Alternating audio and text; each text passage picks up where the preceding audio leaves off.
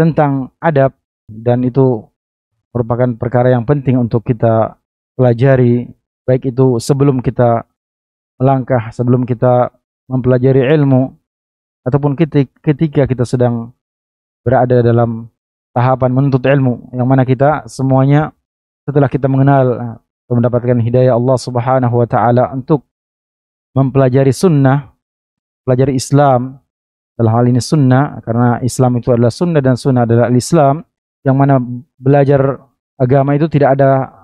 berhentinya. Ya kita belajar atau menuntut ilmu agama Allah Subhanahu wa taala, sejak itulah kita menjadi penuntut ilmu yang tidak ada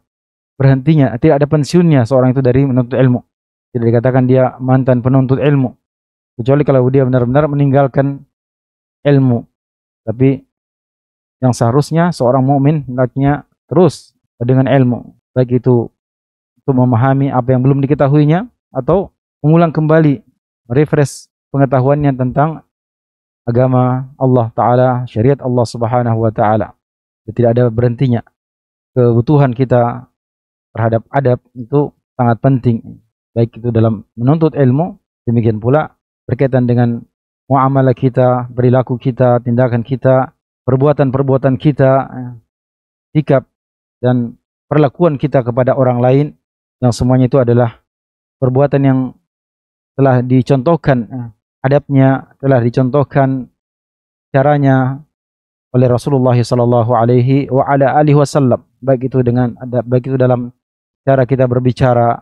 dengan siapa kita berbicara, cara kita berjalan, duduk, menghadapi tamu, memberi salam, menjawab salam, bahkan sampai menulis dan menjawab tulisan semuanya telah diajarkan oleh Rasulullah SAW yang telah mengajarkan Islam itu dengan sempurna sampai dalam perkara-perkara adab yang kalau kita gali atau kita mau memeriksa ajaran selain Islam kita tidak akan ada dapatkan ajaran adab yang lengkap hmm. seperti yang diajarkan oleh Rasulullah SAW secara langsung dengan ucapan beliau atau dengan perbuatan beliau atau yang diamalkan oleh para sahabat ataupun para tabi'in, para aima yang pengamalan mereka itu, perbuatan mereka itu, perilaku mereka itu adalah berlandaskan kepada ajaran Rasulullah sallallahu alaihi wa ala alihi wasallam.